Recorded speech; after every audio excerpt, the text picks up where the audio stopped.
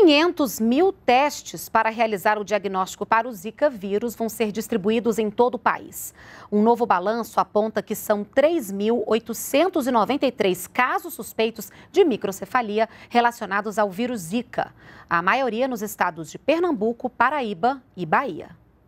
Essas notificações ocorreram em 764 municípios de 21 unidades da federação.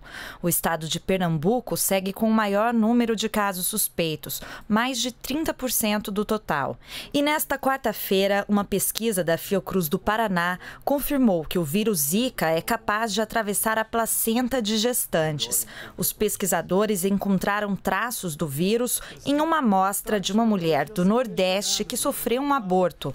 O Ministério da Saúde vai seguir notificando e acompanhando todos os casos de microcefalia, principalmente os relacionados a agentes infecciosos, como Zika, sífilis e rubéola. Diante de todos os novos elementos e evidências que surgiram de dezembro até agora, além daquelas acumuladas, das, das pesquisas que estão sendo publicadas, como exemplo a pesquisa que foi divulgada hoje sobre a identificação do vírus Zika na placenta, nós teremos na próxima semana duas agendas importantes com sociedades médicas, eh, especialistas em diversas áreas, para discutir tanto a questão relativa à vigilância eh, de arbovírus, né, da, da, de zika, dengue, chikungunya, bem como a discussão do protocolo e das definições e dos conceitos em relação a microcefalias.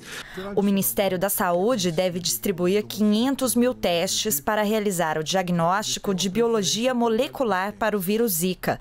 Com isso, os laboratórios públicos ampliarão em 20 vezes a capacidade dos exames. Para os exames laboratoriais específicos para a Zika, nós vamos ter a oportunidade de rever o modelo e a organização da vigilância é, específica. Então, isso vai significar sair de uma média de mil exames por mês para uma capacidade superior a 20 mil exames por mês. Então, isso vai dar uma representatividade muito maior e deve nos permitir falar com um pouco mais de segurança sobre as tendências relativas à infecção. O Ministério da Saúde investiu 6 milhões de reais para adquirir os testes de diagnóstico do Zika vírus. Também serão comprados outros 500 mil testes para diagnóstico de dengue, zika e chikungunya. Esse procedimento vai permitir a identificação simultânea do material genético para os três vírus.